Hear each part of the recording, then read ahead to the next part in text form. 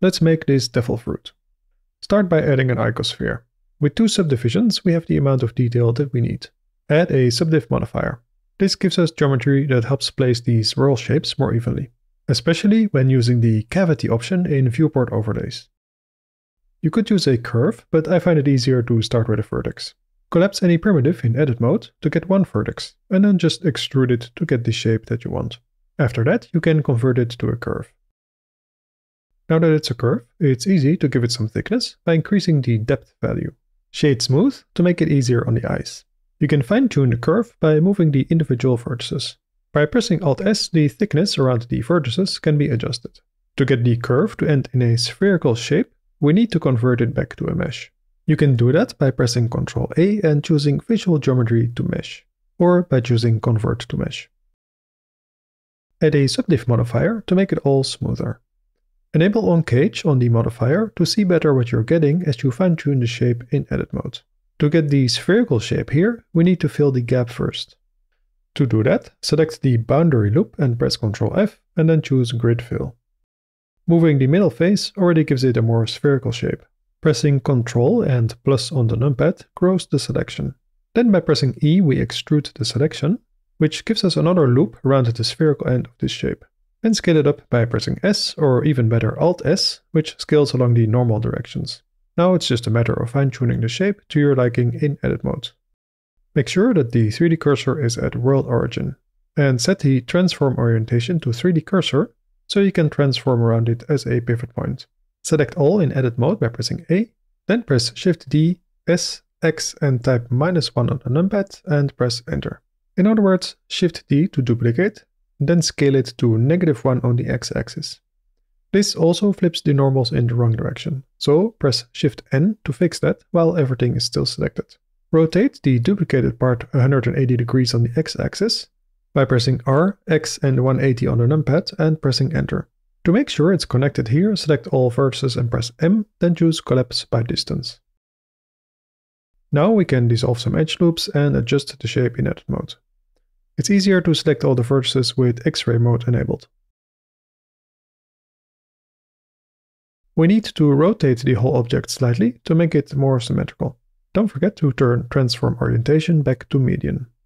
After some further fine-tuning, we get a nice swirly shape. Finally, give it a name.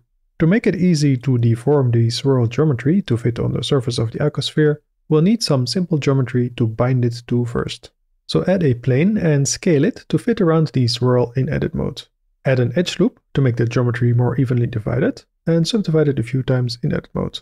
Set the visibility of the plane to wireframe so you can still see it but also see through it. If you have a subdiv modifier on the swirl, make sure that the viewport and render levels are the same before the next step. Otherwise the surface deform modifier won't work properly.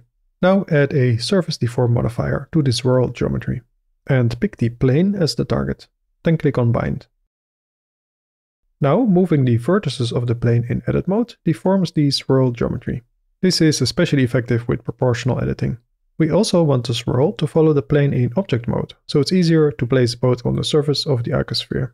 To achieve this, select the swirl, hold shift and select the plane. Press Ctrl P and parent the swirl to the plane. Now moving the plane in object mode makes the swirl follow along.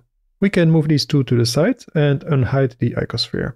Duplicate both the swirl and plane in object mode with Shift D. Then move it to the icosphere. By holding Ctrl, it snaps to the surface, which makes it easier to place it where you want. You'll also need to scale and rotate it to fit. Once it's in a good spot, add a shrink wrap modifier to the plane. Choose the icosphere as the target. It works best with the project option and both negative and positive options checked. This makes the plane conform to the icosphere, and in turn the swirl follows the shape of the plane. Now it's just a matter of duplicating these objects again and filling the icosphere with them. You can save some time by copying the scale of this plane to the original plane, so that you don't have to scale it down every time you duplicate it. And instead of adding the shrink wrap modifier manually each time, you can select the plane you're currently placing, hold shift and select a previously placed plane. Then press Ctrl L and choose Modifiers to copy the shrink wrap modifier, including the correct settings. After repeating these steps, the icosphere is full of swirls. If you render this and the swirls don't follow the curvature of the sphere in the render, that's because you need to have the same level of subdivisions for both viewport and render. So make sure those are all the same. Now let's make the stem. Hold shift and right click here to put the 3D cursor there. Then add a single vertex, or add any primitive and collapse it to a single vertex.